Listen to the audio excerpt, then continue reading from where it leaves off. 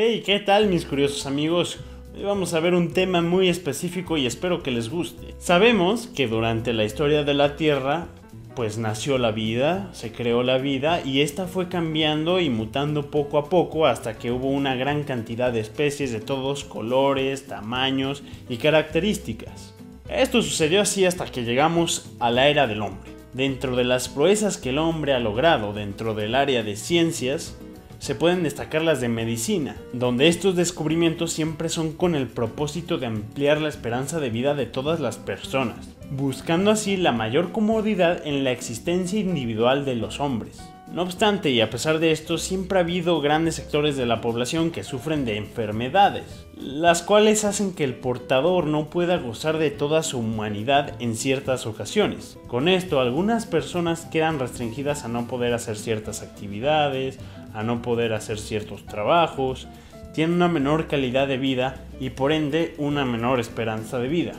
Pero algunos investigadores, con la esperanza de cambiar esto, han empezado a fijarse en cómo se comportan y cómo se defienden organismos mucho más pequeños que nosotros. Es aquí donde algunos científicos han encontrado lo que ahora se denomina como CRISPR, el cual es un mecanismo con el cual las bacterias se protegen contra ciertos virus. Y lo que están haciendo los científicos es tratar de enfocarlo para mejorar la calidad de vida de todas las personas. Así que en este video hablaremos de qué es el CRISPR-Cas9, cómo funciona y sus características generales. Es importante destacar que el CRISPR-Cas9 recibió un premio en nanotecnología del Kavli Prize en 2018. Fue un premio que se repartió entre tres personas, Charpentier, Dodna y. Sixnis.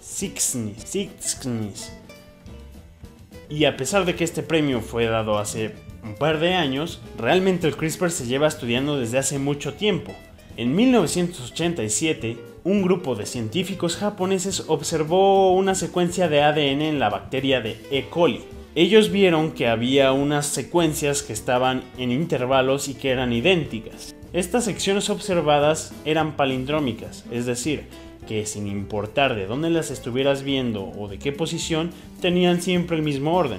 Y de ahí viene el nombre de CRISPR, que por sus siglas en inglés tienen una traducción literaria así. Repeticiones palindrómicas cortas agrupadas irregularmente interespaciadas y al observar más detalladamente se dieron cuenta de que estos fragmentos de ADN pertenecían a virus que habían atacado anteriormente a la célula, a la bacteria, y que la bacteria utilizaba este ADN para cuando el virus intentara reingresar, atacarlo eficazmente.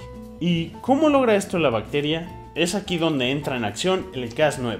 La acción la predijo Francisco Mojica, quien fue también quien acuñó el término de CRISPR, y el equipo de Alexander Bolotin fue el que logró identificar al Cas9. A partir de este punto, muchos grupos de científicos de muchas zonas del mundo han sido los que han contribuido a la investigación de este efecto particular del CRISPR-Cas9. Lo que técnicamente realizan las bacterias al ser atacadas por un virus y sobrevivir es recortar un pedazo del ADN del virus e ingresarlo en su propio ADN. La proteína Cas9 entonces hace un copiado de este ADN en forma de ARN. Así, cuando este tipo de virus vuelve a reingresar a la célula, el Cas9 puede identificar qué tipo de virus es y gracias a sus propiedades puede desactivar el virus en cuestión de segundos. Este tipo de adaptación o de sistema que hace el Cas9 funciona como un estilo de tijeras porque lo que hace es literalmente cortar el ADN del virus para así lograr desactivarlo. Y a esto los científicos le han denominado tijera molecular. Esto por ciertas razones. Entonces ya podemos ir viendo un poco por qué el CRISPR-Cas9 es tan importante.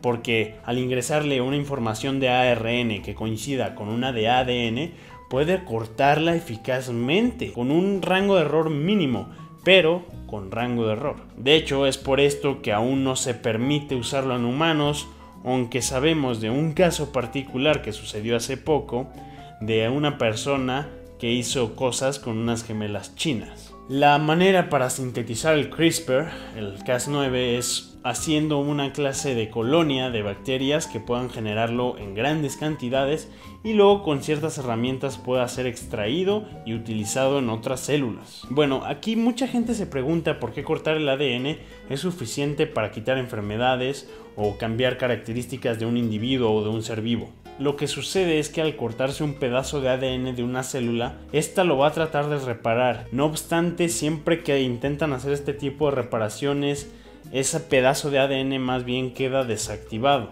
Entonces, cuando esta célula se vuelva a reproducir, ya no va a pasar esa parte de la información a su hijo. Y claro, esto también puede dar resultados no deseados si se repara la célula de manera no debida. A partir de que se descubrió este método, los genetistas han estudiado esto de manera más extensiva porque es el método más fácil, rápido y barato.